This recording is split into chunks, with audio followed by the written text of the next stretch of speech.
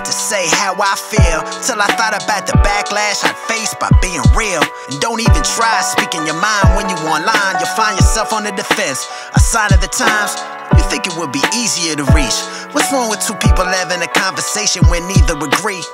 Isn't that freedom of speech? But instead, it's got me hitting the key to the lead. We online all the time, but so disconnected.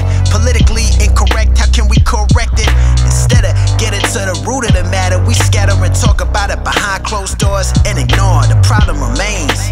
A shame that we don't listen. When will we see we aren't that different? And talk less about problems, more about solutions. Otherwise, what are we really doing?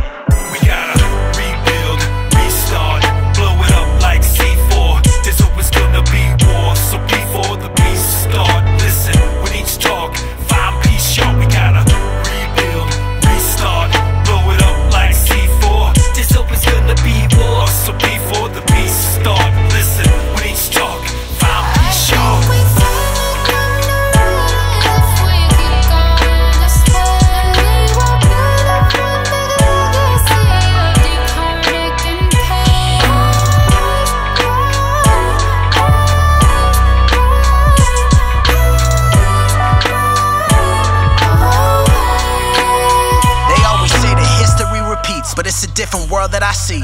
Revolution wasn't televised, but who really watches TV? When everyone on their phone, but they ain't talking. Still, it's like they caught in a zone. Third world problems. Every day I hear about that. Looking for the truth, sorting through alternative facts. The gap keeps getting bigger and the fences keep rising. Makes it hard to see past the horizon.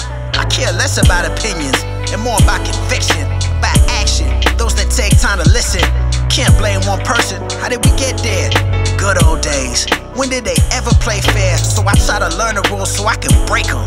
Penetrate the game so that I can make them. Everyone got excuses, but the truth is more elusive. So instead of trying to talk, I'd rather do it and rebuild.